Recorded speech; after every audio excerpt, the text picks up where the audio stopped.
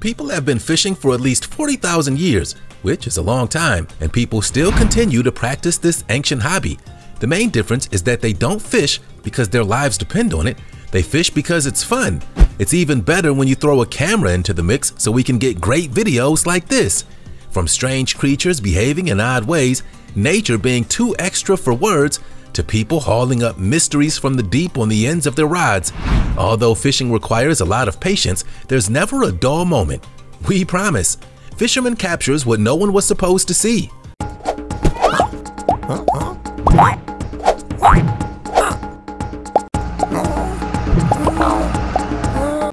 Catching tuna Maldivian style.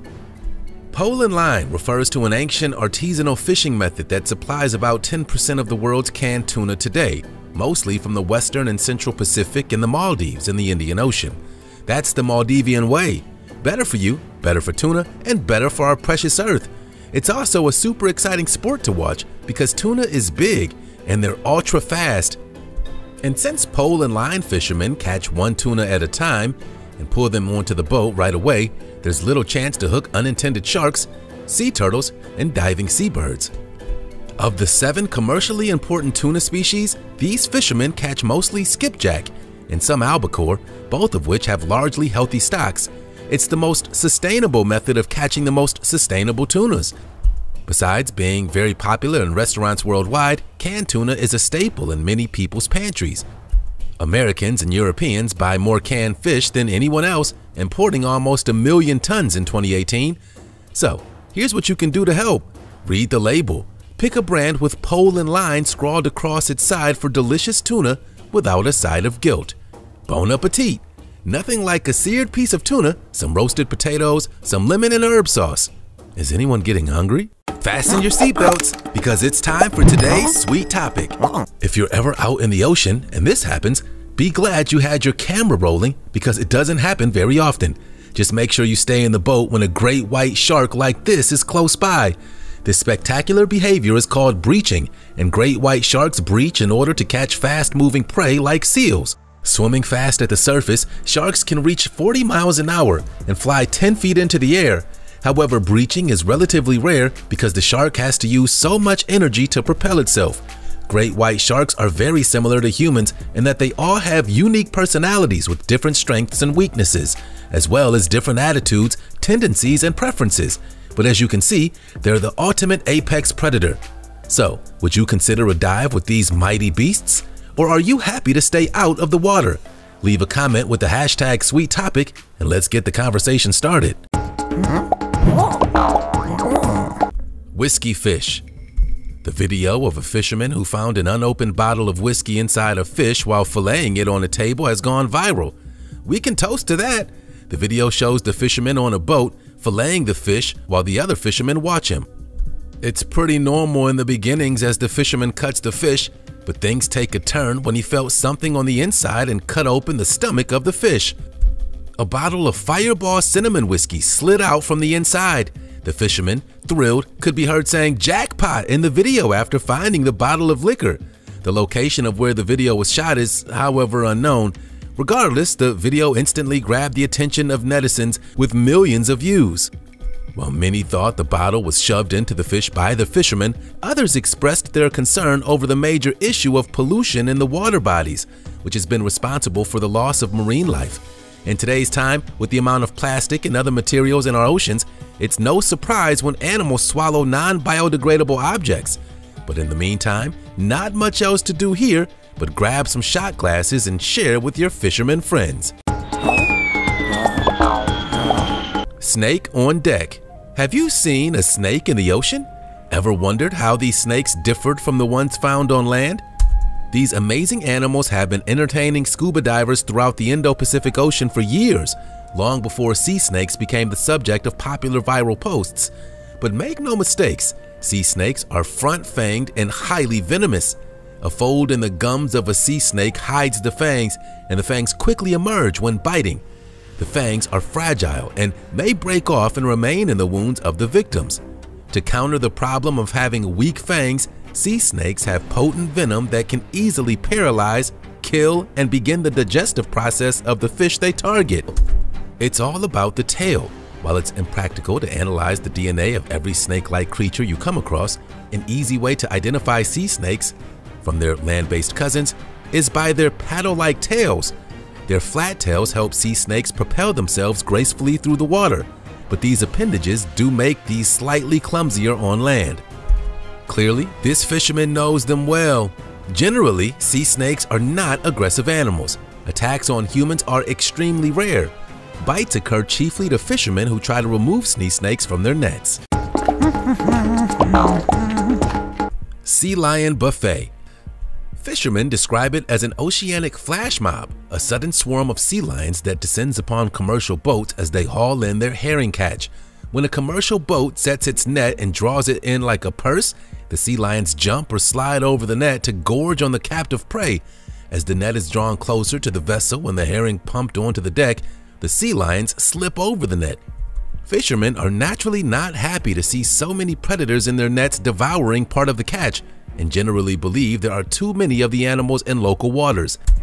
But they've learned to live with the marine mammals, and when one occasionally gets its teeth caught in the line, it's safely removed by adjusting the net or spraying the animal with a hose.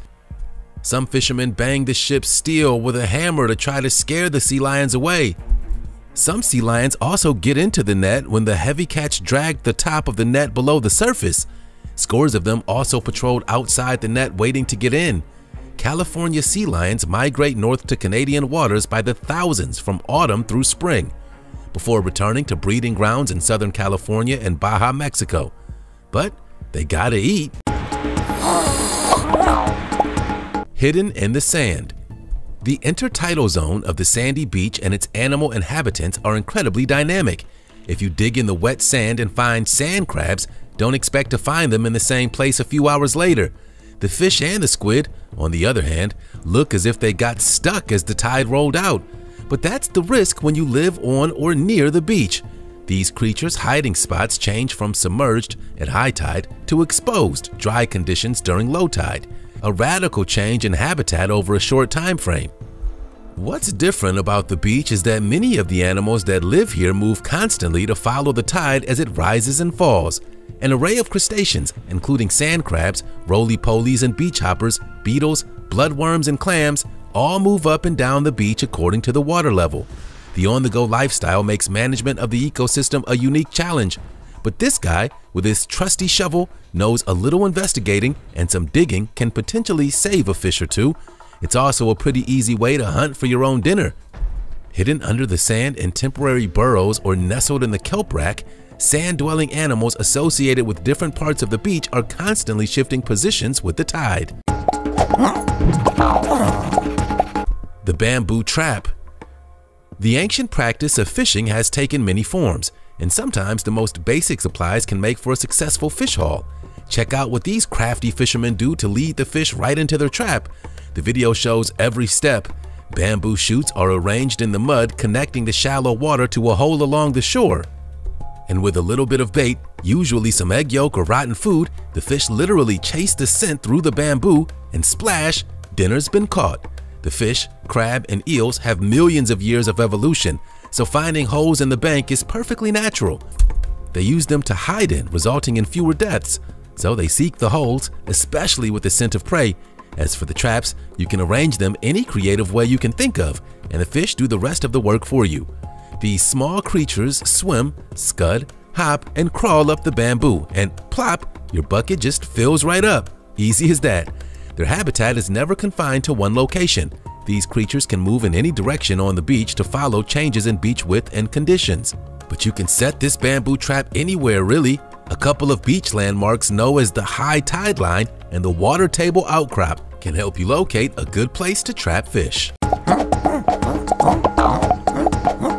Plowing for fish. It's a dirty job, but somebody's got to do it. Check out these little kids hand fishing while the farmer's plowing in the field. That's a lot of mud to muck about in, but they're loving it. It looks like they're hunting, climbing, and copper snakehead fish. The climbing perch is native to Asia, where it occurs from India east to China and to the Wallace Line. It's an invasive species that can live without water for 6 to 10 hours, so it's important these boys fetch as many as possible. It's believed that the fish may be invading new territories too. It also has been established in some countries outside of its native range, in eastern Indonesia and Papua New Guinea. This species grows to 9.8 inches in total length. The snakeheads are native to parts of Africa and Asia. These elongated, predatory fish are distinguished by their long dorsal fins, large mouths, and shiny teeth. National Geographic has referred to snakeheads as fishzilla because they can become invasive species and cause ecological damage because in many areas to which they're not native, the absence of natural enemies gives them apex predator status.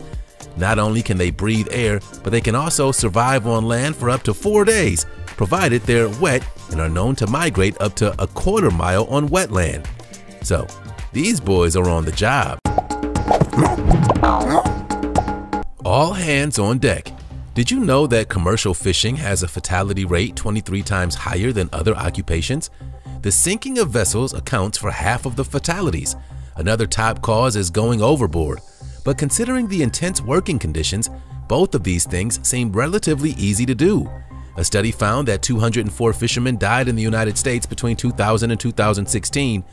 Nearly 60% of the falls weren't witnessed. Almost 90% of the victims were never found.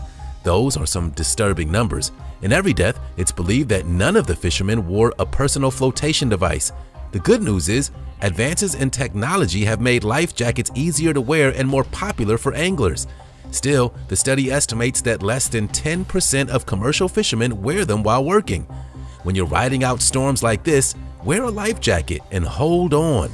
These boats get hammered by nasty weather conditions. That's why commercial fishing remains one of the most dangerous jobs around the world. Today's life jackets are not the bulky, cumbersome clunkers that most people are familiar with. Newer models are lighter and don't feel like you're even wearing one. Life jacket or not, it's all hands on deck when there's fish and crabs to catch, bad weather or not. Mammoth Discovery. Check out this Siberian fisherman finding a mammoth tusk in a river. It probably appeared there from the thawed permafrost. Unfortunately, climate change is causing Siberia's permafrost to thaw. It's a growing environmental problem, emanating greenhouse gases, damaging buildings, and creating vast craters in the landscape. But the thawing of this once frozen ground is also revealing an ancient treasure, woolly mammoth bones. Siberia is a massive mammoth graveyard, and it's estimated that the remains of hundreds of thousands of these massive mammoths lie buried in the permafrost. It's one of the world's last great wildernesses, but its greatness is being scavenged for an unusual treasure trove by an underground business that's booming. Every year, crews of people head to the region to dig up the tusks of woolly mammoths that lie frozen in the permafrost. It's a dirty job, and these people feel like doing it, but the payoffs are huge. They sell the mammoth tusks for huge profits, and this is Siberia's gold rush, not in precious metals like diamonds and gold, but in body parts and bones. An intact tusk relic can sell for $34,000 and up. Tusk hunters can earn up to $100,000 a week. Under the ice. This video appeared online and millions of people saw it, argued about it, and decoded it. Ice diving in Finland is no joke. The entire film was shot upside down. The cameraman was in the water upside down. The fishermen were in the water upside down. They weren't standing on the icy lake floor. They were hanging suspended on the underside of the lake surface, kind of like this. Ice diving is an advanced form of technical diving that takes place in situations where the surface of the body of water you're diving in has frozen solid. Because of this, ice diving is happening in a place with a frozen ceiling that prevents you from surfacing in case you run low on air or if some other form of emergency presents itself. It's therefore both exciting for some scuba divers and more dangerous than your average recreational dive. These divers even have tools and a wheelbarrow to add to the effect, but it's an advanced form of diving that shouldn't be undertaken without proper training. Getting certified by experienced instructors will give you a chance to find out more about what could go wrong in order to avoid having to try it for yourself. Good buoyancy control is a necessity when you're upside down like these divers. Whale sharks suck. An environmental group captured this footage of a whale shark sucking bait fish from a hole in a giant fishing net. The footage was shot in the Bird's Head Seascape a marine area over 180,000 square kilometers in Indonesia. Whale sharks are the largest fish in the world, But make no mistake, they're not whales, they're sharks. They have a lot in common with whales. For example, they're massive and they feed more like whales than a typical shark. The filter feeder typically eats microscopic plankton. It does this by pulling a big gulp of ocean water into its mouth like a vacuum cleaner. It releases the water through its gills like a strainer. But this whale shark craves something else in this clip. This is proof that the whale sharks also eat tiny fish and that they can learn. However, this feeding behavior is highly unusual. These whale sharks have also become accustomed to being hand-fed by the fishermen and appear to be non-migratory. This is unique since whale sharks generally cover vast distances. Their heads are flattened and have a blunt snout above their mouth. Their backs and sides are gray to brown with white spots and pale stripes. Their bellies are white. Each whale shark has its own unique pattern of spots, much like human fingerprints. Yacht hopping octopus. You gotta see this octopus escape from this boat in Croatia, slowly sneaking along the deck till it eventually plops in the water and swims away. But did we ever stop to consider how clever the octopus truly is? Turns out this creature's brain not only makes it the world's most intelligent invertebrate, but, according to some measures, as smart as a golden retriever. Oddly, philosopher Aristotle thought octopuses were dumb. In his History of Animals, written in 350 BC, the Greek philosopher wrote that the octopus is a stupid animal, for it will approach a man's hand if it's lowered in the water.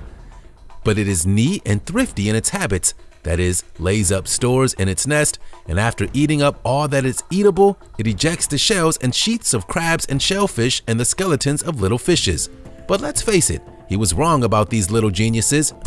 These whip-smart but bizarre cephalopods seem to embody everything creepy and mysterious about the sea. The thought of their soft, squishy bodies lurking in the ocean's dark reaches has inspired monsters like the Kraken. However, the big-brained octopus can navigate through mazes, solve problems, and remember solutions, and take things apart for fun. They even have distinct personalities, like this little sun-soaked octopus. Stilt fishing. Stilt fishing is a method of fishing unique to the island country of Sri Lanka, located off the coast of India in the Indian Ocean. The fishermen sit on a crossbar called a peta, tied to a vertical pole and driven into the sand a few feet offshore. From this high position, the fisherman casts his line and waits until a fish comes along to be caught. Although the approach looks primitive and ancient, stilt fishing is actually a recent tradition. The practice is believed to have started during World War II. Like most traditions, it was born out of necessity.